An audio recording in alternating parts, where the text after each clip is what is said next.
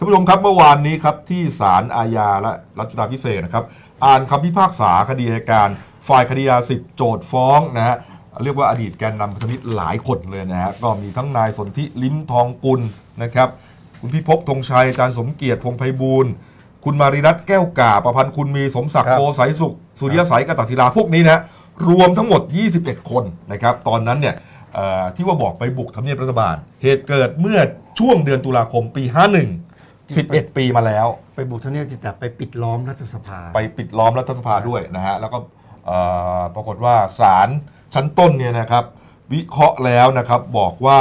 เอ่อเห็นว่าแกนนำปราศัยให้ประชาชนมาชุมนุมขับไล่รัฐบาลนายสมชายวงศ์สวัสดิ์ที่ถูกมองว่าเป็นตัวแทนของนายทักษิณชินวัตรเป็นการปราศัยให้ความรู้ต่อประชาชนในการตรวจสอบทุจริตของรัฐบาล โดยมีการตั้งข้อสังเกตถึงการขึ้นสู่ตำแหน่งนายกของนายสมัครสุนทรเวชที่มีการพยายามแก้ไขรัฐธรรมนูญทำให้นายทักษิณได้ประโยชน์ ในเรื่องที่ถูกพอตอสอตรวจสอบเรื่องทุจริตนะครับอีกทั้งการชุมนุม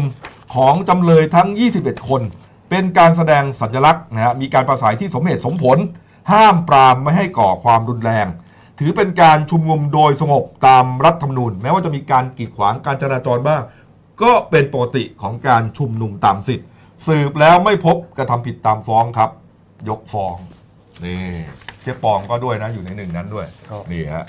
ก็ตามนั้นนะครับ อืมเนี่ยครับก็ยกฟ้องไปนะครับเอาละครับ